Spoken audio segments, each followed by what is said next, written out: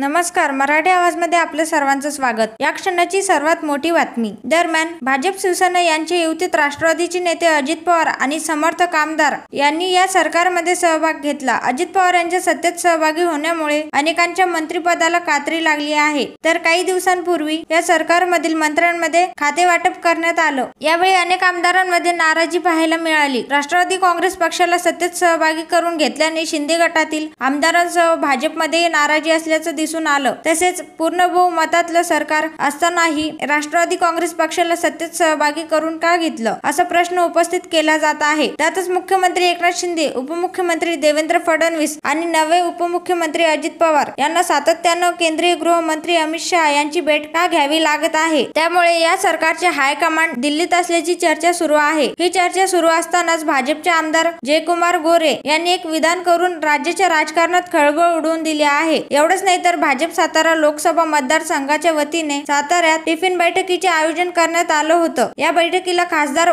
उदयनराजे भोसले यांच्यासह भाजप अध्यक्ष आमदार जयकुमार गोरे आणि जिल्ह्यातील भाजपचे सर्व पदाधिकारी उपस्थित होते एवढंच नाही तर आमदार जयकुमार गोरे बोलताना म्हणाले की राज्यातील शिंदे सरकारचा हायकमांड हे देवेंद्र फडणवीसच आहेत कधी कोणाला सोबत घ्यायचं आणि कधी सोडायचं हे फडणवीस यांना चांगलंच समजतं यामुळे समजणे वाले को इशारा काफी होता है असं जयकुमार गोरे म्हणाले आहेत आमदार आमदार गोरेंनी केलेलं हे विधान नक्की कोणासाठी होते याबाबत आता चर्चा सुरू झाली आहे गोरेंचा निशाणा जिल्ह्यातील अजित पवार गटाकडे तर नव्हताना अशा सुद्धा चर्चांना आता साताऱ्यात उदाहरण आल्याचं पाहायला मिळत आहे दरम्यान म्हणजे जयकुमार गोरे म्हणाले आपल्या भारतीय जनता पार्टीने घेतलेला निर्णय खूप विचार करून घेतलेला आहे आपलं नेतृत्व खूप सक्षम आणि खूप विचारी आहे त्या नेतृत्वाला माहिती आहे कोणाला आपल्या बरोबर घ्यायचं कोणाला सोडायचं कोणाला किती दिवस आपल्या बरोबर ठेवायचं आणि कोणाला कधी सोडायचं हे सगळं आपले नेतृत्वाला माहिती आहे हे सगळं आपल्या नेतृत्वाला माहिती आहे तसेच या सरकारचे हायकमांड हे देवेंद्र फडणवीसच आहेत आमदार गोरे हे वक्तव्य करत असताना राष्ट्रवादी काँग्रेस पक्षावर निशाणा साधत होते का यावर आता चर्चा सुरू आहे तर मित्रांनो याबद्दल तुमचं काय मत आहे ते कमेंट मध्ये नक्की सांगा चॅनलवर नवीन असाल तर चॅनलला सबस्क्राईब लाईक करून बेलायकॉन नक्की दाबा